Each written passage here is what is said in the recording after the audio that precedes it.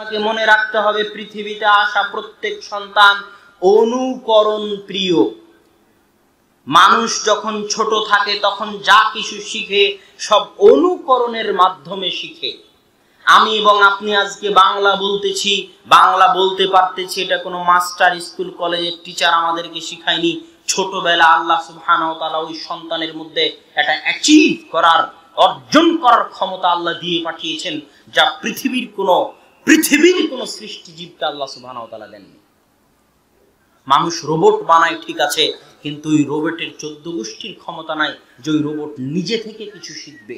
কিন্তু আল্লাহ মানব সন্তানকে, আদম সন্তানকে ওই ছোট্ট বাচ্চাকে এমন শক্তি দিয়ে পাঠিয়েছেন যে ওই ছোট্ট বাচ্চা আল্লাহ সুবহান পাঠানো শক্তির বদৌলতে দেখে দেখে সবকিছু শিখে ফেলে।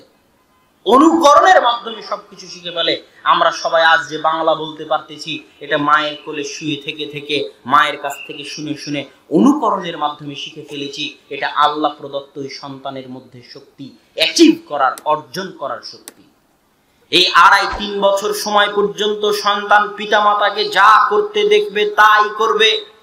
এই আড়াই তিন বছর পর্যন্ত পিতামাতাকে অনেক সজাগ এবং সচেতন থাকতে হবে। সন্তান যদি কান্নাকাটি করে আর আপনি গান বাজানোর মাধ্যমে কান্না বন্ধ করেন, সেই সন্তান ভবিষ্যতে আদর্শ সন্তান হতে পারে না। সন্তানকে যখন মা দুধ খাওয়াবে, তখন যদি বিসমিল্লা বলে দুধ না খাওয়াই, তাহলে তার সাথে শয়তানও দুধ পান করবে।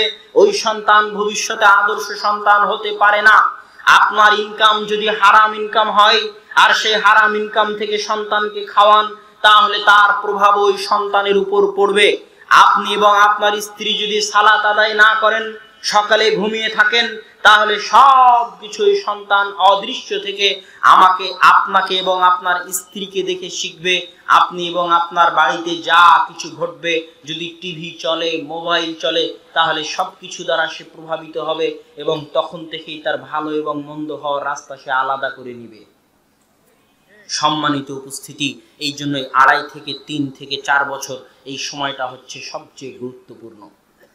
এবার যখন সন্তানের বয়স পাঁচ, ছয়, সাত হয়ে গেল, তখন আবার রাসুল সাল্লাহ আলী ওয়াসাল্লামের হাদিস যে এই সন্তানকে আদব কায়দা শিখাতে হবে। কি কি আদব কায়দা শিখাতে হবে তা রাসুল সাল্লাহ আলহি ওয়াসাল্লামের বিভিন্ন হাদিস থেকে স্পষ্ট হয়। রাসুল সাল্লাহ আলহি ওয়াসাল্লামের পাশে একটা ছোট্ট বাচ্চা খাবার খাচ্ছে। রাসুল সাল্লাহ আলহি ওয়াসাল্লাম বলছেন গোলাম, সাম্মিল্লাহ অকুল বিয়ামিনিক অকুল মিম্মা ইয়ালিক। সহি বুখারীর হাদিস, হে ছোট বাচ্চা বিসমিল্লা বলে খাবার শুরু করো, ডান হাত দিয়ে খাবার গ্রহণ করো এবং তোমার পাশ থেকে খাবার গ্রহণ করো। এটা গেল একটা হাদিস। আর হাদিসে রাসূল সাল্লাল্লাহু আলাইহি ওয়াসাল্লাম মুরু আওলাদাকুম বিসসালাতি ওহুম সাবউহুম আবনাউ সাবউ সিনিন। তোমরা তোমাদের সন্তানদেরকে সালাতের আদেশ দাও যখন তাদের বয়স সাত বছর। ওয়াজরিবুহুম আলাইহা, এবং তাদেরকে পিটাও সালাতের জন্য যখন তাদের বয়স দশ বছর। ওফাররিকু বাইনাহুম ফিল মাদাজি এবং তাদের বিছানা আলাদা করে দাও। দুটা হাদিস। তৃতীয় হাদিস, এই সময় রাসুল সাল্লাহ আলহি ওয়াসাল্লাম হাসান এবং হুসাইনের খাতনা করিয়েছেন, যেটাকে আমরা বলি মুসলমানি করানো। এই সময়টা পাঁচ থেকে নিয়ে সাত, আট বছর সময়, এই সময় হচ্ছে সন্তানের প্রথম মদিনা ইসলামী বিশ্ববিদ্যালয়। এই সময়টা হচ্ছে সন্তানের প্রথম জামিয়া সালাফিয়া। এই সময়টা হচ্ছে সন্তানের প্রথম স্কুল। এই সময়টা হচ্ছে সন্তানের প্রথম মাদ্রাসা। এই সময়ে যদি পিতামাতা আদব কায়দা শিখাতে না পারে, এই সময়ে যদি পিতামাতা আদর্শ সংস্কৃতি শিক্ষা দিতে না পারে, ভবিষ্যতে পৃথিবীর কোনো প্রতিষ্ঠান আল্লাহ দয়া না করলে তাকে আর আদর্শ শিখাতে পারবে না।